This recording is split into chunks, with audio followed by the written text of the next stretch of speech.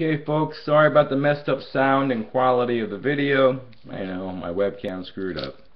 Here's my mail day I got in.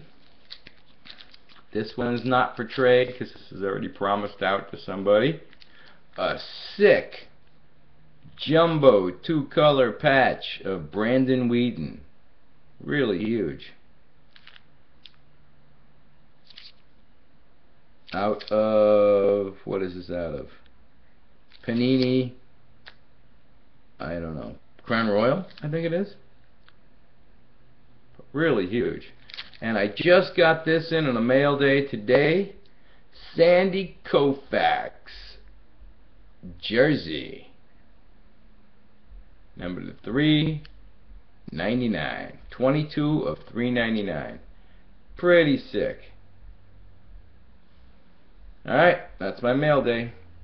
I'll be back in uh, a few minutes with another Pack Bus video. Thanks.